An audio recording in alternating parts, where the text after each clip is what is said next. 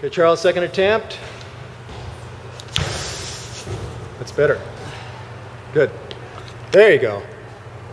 58.5. Wow, very good. He's